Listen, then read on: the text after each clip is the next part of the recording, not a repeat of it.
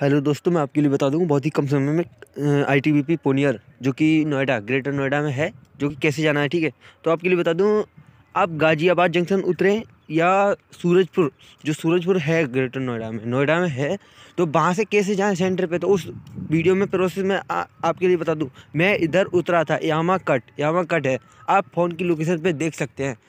और वैसे भी आप डायरेक्ट सेंटर को देख सकते हैं। उधर आईटीबीपी है, वहीं से पीछे मतलब थोड़ा नज़दीक ही है समथिंग हज़ार मीटर के दायरे में सी आई एस एफ़ का है।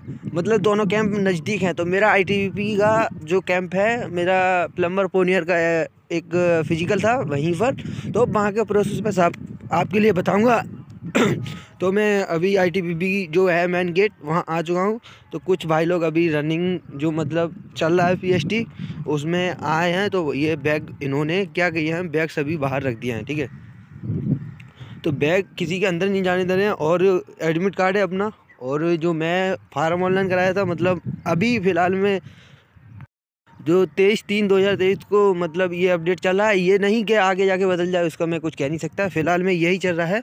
और देख सकते हैं आप, ये जो सेंटर है, उसको किस तरह का है? और मैं आपको बता दूँ मतलब एरिया ज़्यादा हरा भरा नहीं है। हरा भरा का मतलब ये है, जो रोड है, वो सुनसान रहते हैं मतलब ज़्यादा पब्लिक नहीं रहता है। तो मेरा भाई लोगों से कहना है दो चार का साथ ही रहें, क्योंकि यार एरिया थोड़ा ऐसा ही है, बताते हैं लूट खसोट वाला है, पर इतना नहीं है। दो, तीन, चार बंदे रहें साथ में। अगर रात को नाइट के समय पता है, सात बजे समथिंग अगर पैदल आओगे, जाओगे तो इतना आई भी रहता है आर भी फोर्स रहता है जो पास में ही। मतलब इधर को जो रहते हैं मतलब खाना फाना खाने के लिए, आगे की तरफ़ जो यामा कट से आते हैं, उधर को इतना नहीं है। तो इस तरीके से भाई लोग अपने हिसाब से रहिए। और नाइट में अगर किसी भाई का पी एस टी यानी फ़िज़िकल है तो सौ रुपये में रूम भी मिल सकता है। इधर साइड में समथिंग चार सौ मीटर के दायरे में मैन एंट्री गेट से 400-500 मीटर के दायरे में दूसरी वाली साइड को वहाँ पे होटल हैं कुछ खाने खाने के लिए, जैसे कि चावल और अपना भात, रोटी, जो कुछ भी खाना हो खा सकते हो। वो जो वहाँ पे उनसे बूझ के भी रूम भी ले सकते हो, क्योंकि हम आठ दस लड़के एक दूसरे को साथ ही मिल गए थे। वैसे तो एक साथ के नहीं थे, लेकिन मिल गए तो तो रूम लिया तो सौ रुपये का तो मतलब पाँच छः बंदे उसी में रुके थे।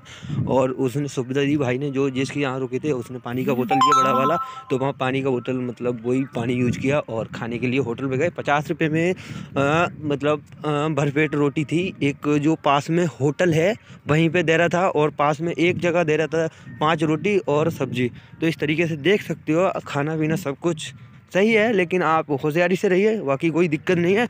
और मॉर्निंग में जो ही है, अपना टाइमिंग मेरा सात बजे का था वी का तो मतलब पहले ही लाइन लग जाती है तो पहले ही आएँ समथिंग पाँच बजे अपना, पाँच, साढ़े पाँच बजे पहुँचें। पाँच बजे मान लो उससे पहले भी जितना समय पहले पहुँचना चाहते हो मतलब सेंटर पे पहुँचो। ठीक है, और हमारा रनिंग हुआ था चिप पहन के। चिप पहन के पूरा टाइमिंग दे रहे हैं, और जो ग्राउंड है वो वो अपना बजरी वाला, रोड वाला है, ठीक है? पूरा टाइमिंग दे रहे हैं, चिप बाँध के, और बाकी वीडियो मैं थोड़ा लॉन्ग मैं सी आई एस एफ़ की बात कर रहा था, वो सी आई एस एफ़ देख देख सकते हो कि सी आई एस एफ़ का एंट्री गेट है। जिस किसी का, भाई सी आई एस एफ़ का, वो सी आई एस और मैं बाकी बता दूँ, पचास लड़के का हमारा गौरव बन रहा था तो पचास लड़के दौड़ रहे थे। पचास में तो पाँच छः छट रहे थे बाकी सब रनिंग क्वालिफाई कर रहे थे। बाकी कुछ लोग रनिंग क्वालिफाई नहीं कर पा रहे थे बाकी सब लोग कर रहे थे। और हमारा जो रनिंग हुआ था वो चिप बाँध के हुआ था। चिप बाँध के मतलब जो आ, तो भाई लोग जो रनिंग हो रहा है तो चिप बाँध के हो रहा है। जैसे कि मोटा सा थोड़ा चक्रा सा जो कि पैर में बाँध देते हैं। गोल टाइप का, रिंग टाइप का, ठीक है? जो मतलब कैप के पीछे आता है ना चिपक चिपकाने वाला, उस टाइप का होता है तो वो पैर में बाँध देते हो। उसमें दो कलर का मतलब दो वाइट कलर का थोड़ा गोल गोल सिक्के की तरह रहता है, वो उसमें बंधा हुआ था उस पर एक बार कोड होता है। तो जब कंप्यूटर सिस्टम पे जाएँगे, लड़के लोग दोनों दोनों पैरों में बंध जाएगा। बंधने के बाद जब जाते हैं वहाँ पर तो सिस्टम पर बैठे होंगे कुछ प्राइवेट लड़के थे, इतना आई टी बी के नहीं थे तो उन्होंने स्कैन कराया, उसके बाद स्टार्टिंग पॉइंट पे पहुँचते हैं स्टार्टिंग पॉइंट पे पचास लड़के पहुँचे थे, पचास लड़के पहुँचे थे। जब उन्होंने फिर का, सबका ब्रांच अलग अलग था, किसी का ट्रेड मतलब प्लम्बर था, किसी का मैसन था, किसी का कारपेंटर था तो सभी को अलग अलग लाइनों में लगा दिया। उसके बाद काउंटिंग करने के बाद रनिंग स्टार्ट किया।